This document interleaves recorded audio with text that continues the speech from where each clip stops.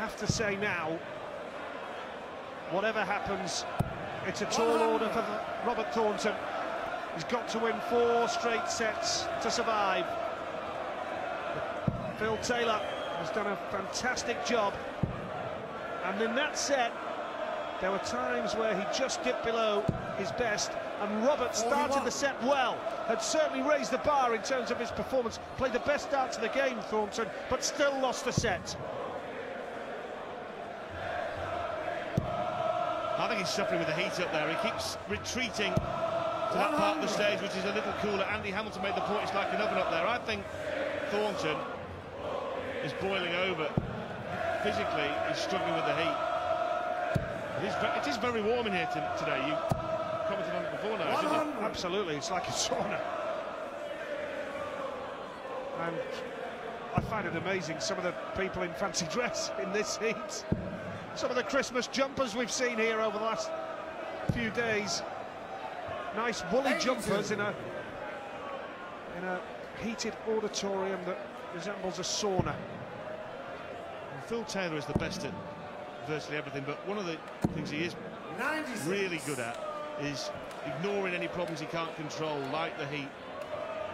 And he will just tell himself it's not hot, or he's hotter than me and he's suffering more than me, and I'll just carry on. Mentally very tough. 59. So, Taylor 104 ahead, but this is a nice visit from uh, Robert Thornton. Or it was had the potential to be. Two treble 20s, that's more like it. require 160.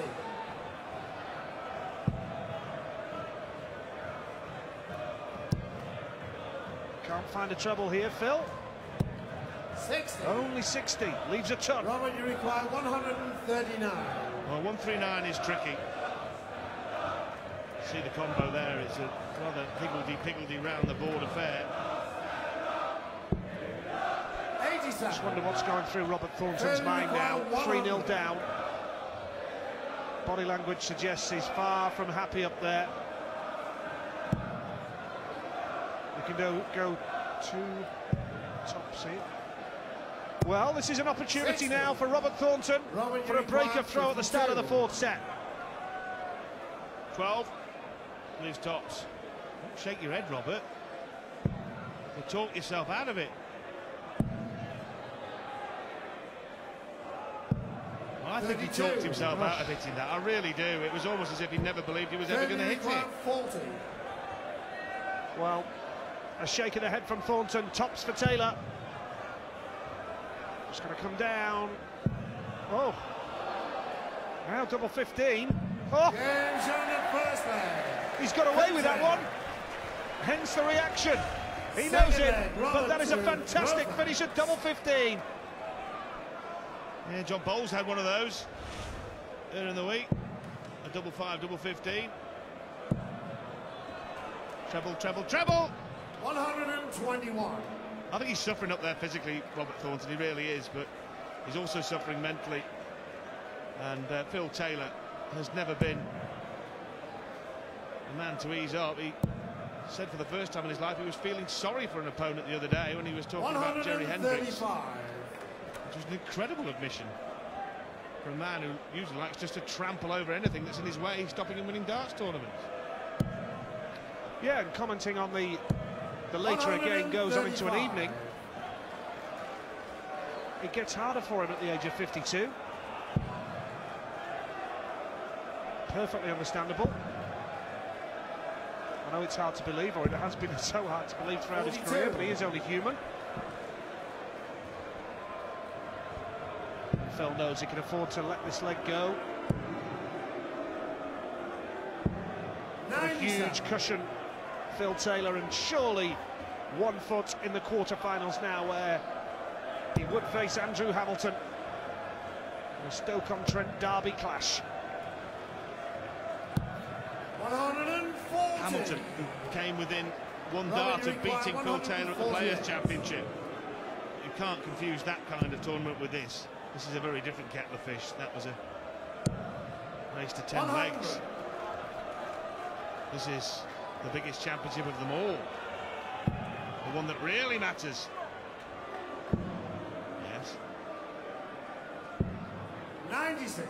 Oh, 48 has to go otherwise. 48. Thornton to the brink of defeat, Nigel. Tops he needs now. Robert Thornton. Double 10. Oh. 38. Well, now he's missed, what, nine missed doubles. Robert Thornton. It's just not his night, is it? He may yet be back for a shot at double five. But Taylor looking absolutely clinical for one leg away from the match. the second The leg. power Fifth surges on, and he has the darts. And dare I say it, this could be over in the next few minutes. The match of the day has become the mismatch of the day. Taylor is handing out a tonking to Thornton. He'd had the temerity to defeat him twice in televised contests, UK Open final and second round of the Grand Prix in Dublin. Taylor doesn't forget. No, and a revenge mission. And at the end of the year, or the end of the calendar year, going into Christmas, just a little final word from Phil against Robert Thornton. Really, just putting the record straight with a a good display. Still more to come from the power, but he's really kicking on here. It's just not been this man's night, but what a year he's had, Robert Thornton. Let's just say that he's been 60. tremendous. It's good to see him back on the big stage. That UK Open win in June was memorable, to say the least. He is a top, top quality player, Robert Thornton, who just hasn't found top form against this man tonight. And uh, Taylor is clinical when it matters here, Rod. This is a proper leg of darts. He's left uh, 81 after nine thrown. And he's potentially just two darts away. 97. Robert required, Thornton has won only three legs here. That's all the crumbs that have come from Taylor's table. Double 12 for the match and a brilliant exhibition. A message sent out from Phil Taylor. You beat me once, you beat me twice. You do not beat me three times in televised tournaments on the trot, Robert Thornton. And Phil Taylor is safely through to the quarter-finals of the World Championship. And after the Christmas festivities are over, he will meet Andy Hamilton in the last eight. Taylor 4, Thornton nil.